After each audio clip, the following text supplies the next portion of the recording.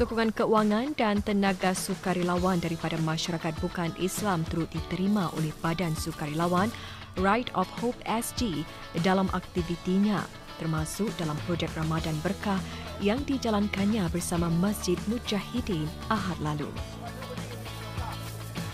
Kita bekerjasama dengan masjid untuk memberi habuan kepada fakir miskin. Penderma banyak yang daripada non-Muslim. Kita ada daripada company Cina, company India yang menderma untuk kita. Pengagihan habuan Ramadan buat keluarga berpendapatan rendah di Stirling Road, Commonwealth dan Gimo turut mendapat sokongan sukarelawan pelbagai bangsa dan agama. Kami alukan uh, volunteer daripada non-Muslim juga. Uh, kali ini kita ada dalam 25 volunteer dan dalam 25% ialah non-Muslim. We have riders from uh, different backgrounds, from uh, different nationalities, uh, also from different race untuk participate dengan kita punya charity work lah. Saya sangat amat terharu kerana bukan sahaja orang Islam yang uh, menyumbang uh, projek ini. Uh, Non-Muslims pun ada juga uh, menyumbang projek ini secara tenaga dan uh, resources lah. So ini uh, menunjukkan yang uh, society kita ini ada uh, sifat insan terhadap uh, satu sama lain dan uh, ini adalah satu yang kita harus menghargai dan menggalakkan. Ini adalah satu something that is unique to warga Singapura.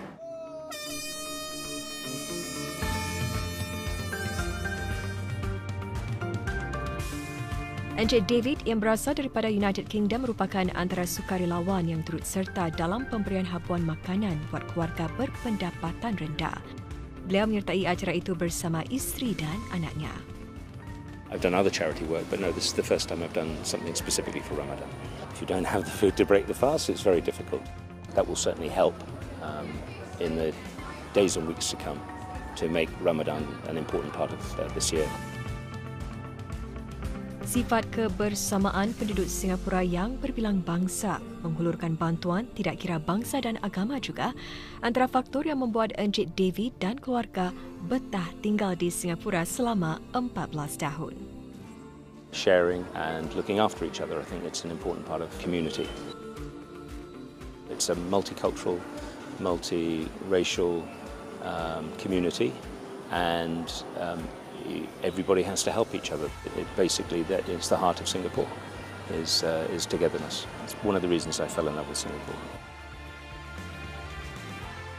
Right of Hope ST yang dimulakan oleh sekumpulan penunggang basikal pada 2012 turut mengambil peluang untuk meluaskan bantuan kepada penduduk Singapura bukan Islam pada musim-musim perayaan.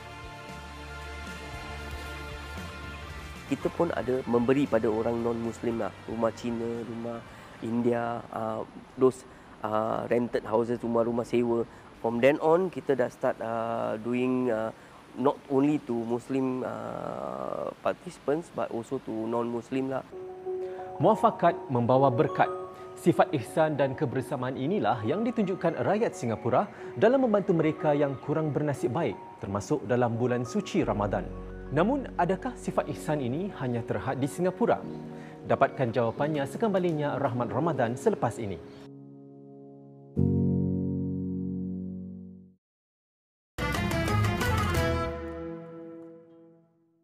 Bantuan yang dihulurkan individu dan kumpulan-kumpulan setempat tidak terhad di Singapura. Rahmat Ramadan menyingkap usaha kumpulan pengayuh basikal Ride of Hope SG dalam membawa keceriaan dalam bulan Ramadan dan membiayai pendidikan di rumah anak-anak yatim di Batam dengan pembukaan sebuah kafe.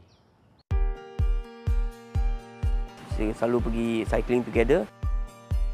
We started in uh, 2012 as a group of uh, extreme riders. We decided to why not we together sit together and uh, do charity work lah. Okay, kan? Bukan saja menabur bakti di Singapura melalui acara-acara seperti pengagihan barangan dapur di masjid dan mengumpul dana buat pembangunan madrasah melalui acara berbasikal, kumpulan sukarelawan Ride of Hope SG turut menyalurkan bantuan keluar Singapura. Kami bukan saja buat program di Singapura, kami ada rumah anak yatim yang kami bantu daripada single uh, three bedroom jadi sampai double story Kita telah mengumpul dana untuk membina classroom, membina uh, tempat tidur untuk anak-anak yatim di uh, Batam. The program we started from 2012 and we are still uh, membantu. Uh, sampai sekarang pun kita tetap membantu uh, anak yatim itu. Demi memastikan penghuni panti asuhan Daurut Toibah mendapat pendidikan holistik, bahasa Inggeris turut diajar kepada mereka. Kita cuba adjust program di rumah anak yatim di sana dari belajar agama saja kita hire a English teacher untuk mereka berbahasa Inggeris. Itu pun satu program yang kita started uh, pasal kita pan, kita tengok yang banyakkan uh, rumah anak yatim tak ada English teacher. Kini panti asuhan yang terletak di Sekupang Batam itu boleh menempatkan sehingga 30 pelajar berbanding hanya 15 pelajar sekitar sedikit lalu. Pembiayaan projek perluasan panti asuhan itu terkumpul daripada kutipan derma masyarakat Singapura termasuk yang bukan Islam. Kebanyakan is uh, sumbangan daripada uh, masyarakat Singapura tapi uh, kita pun ada agensi-agensi uh, company non muslim yang akan sumbang uh, sumbang kepada kami lah untuk untuk our program di Batam lah. Sukarelawan Right of Hope SG, Encik Simon Ang, antara rakyat Singapura yang telah menyumbang kepada projek pembinaan semula panti asuhan itu. We went to Batam to help in an orphanage, uh, contribute to their uh, the uh, whatever they need to build uh, extension of the orphanage itself. Encik Ang yang turut serta dalam pengagihan barangan dapur projek Berkah yang dikendalikan oleh Right of Hope juga aktif sebagai sukarelawan kumpulan itu sejak setahun lalu. I got to know them about about a year back. I've been on and off helping for this event. Obviously, uh, yeah, we're just helping to distribute the um, Ramadan uh, assistance package. I think it's meaningful, especially with Ramadan. There's some people who probably need help. Right of Hope yang sering mengumpul derma melalui acara berbasikal atau bermotor juga bakal turut mengagih barangan dapur dan iftar harian bagi golongan kurang mampu dan anak-anak yatim di Batam sempena Ramadan ini. Untuk our program di Batam lah, Ramadan, grocery is more important lah. Penting, kadang satu bulan pun makan Maggi je kadang. Kita tetap mencari dana lah untuk uh, anak-anak yatim di sana. Uh, kita sudah cari, kita dah mendapat dana untuk iftar for the whole month untuk anak-anak yatim. Dana itu iftar tu uh, kebanyakan daripada masyarakat uh, Singapura lah.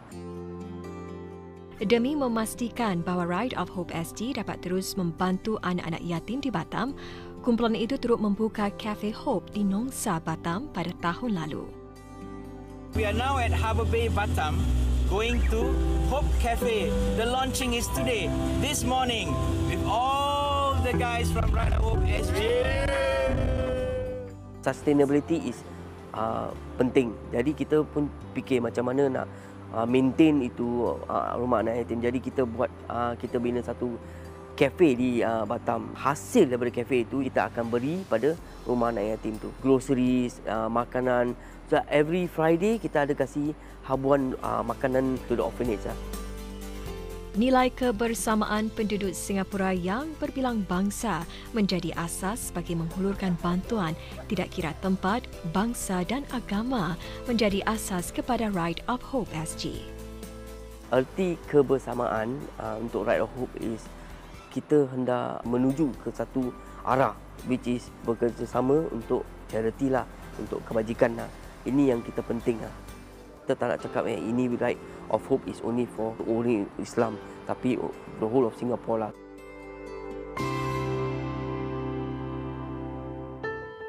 Sekian paparan kami untuk Rahmat Ramadan malam ini. Rahmat Ramadan akan kembali setiap Rabu dengan paparan-paparan menarik sepanjang bulan Ramadan. Sehingga kita ketemu Rabu ini, selamat menjalani ibadah puasa.